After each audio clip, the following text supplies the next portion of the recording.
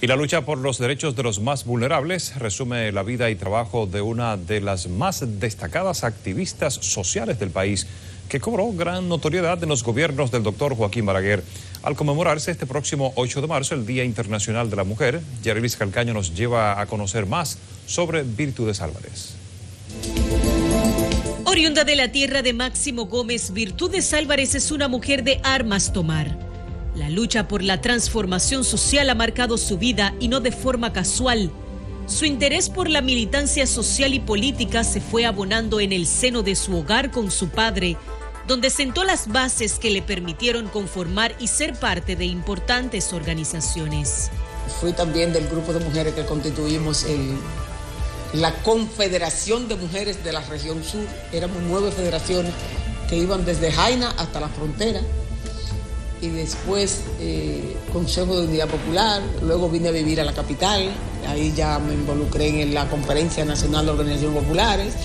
En su época de estudiante se sumó al Frente Estudiantil Flavio Suero, conocido como el FEFLAS, donde luchó por importantes reivindicaciones, incursionó en el periodismo y la comunicación y en la época de los 80 le tocó asumir la coordinación del Consejo de Unidad Popular.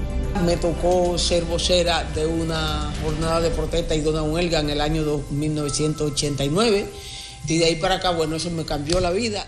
Y no es para menos. El impacto de las jornadas nacionales que realizaron fue tal que en varias ocasiones llegaron a paralizar el país exigiendo derechos. Y la lucha sigue porque la opresión sigue. Mientras haya opresión, mientras haya explotación, especialmente a las mujeres, la clase trabajadora en sentido general, pero las mujeres trabajadoras somos las más explotadas dentro de los explotados.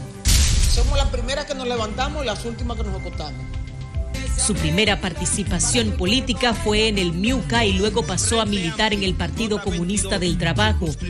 El MIUCA posteriormente evolucionó a lo que hoy es el Frente Amplio, donde aspiró a diputada pero no ganó. Y es que la lucha por los derechos, especialmente de las mujeres, ha sido su norte al día de hoy cuestiona la falta de políticas eficaces contra la violencia de género.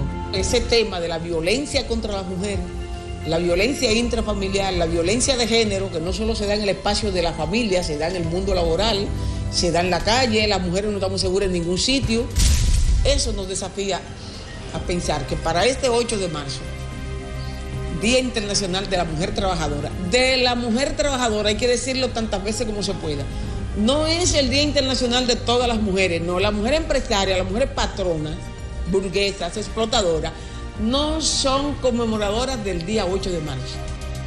Con una mirada retrospectiva, Virtudes Álvarez asegura que el mayor sueño en términos sociales sigue pendiente. Que nos acerquemos más a la transformación social por la que yo he luchado toda la vida. Yo no. Millones hemos luchado que el pueblo dominicano pueda tener una vida digna de ser vivida. Una sociedad en la que nadie se muera porque le falte un medicamento. Yarilis Calcaño, CDN.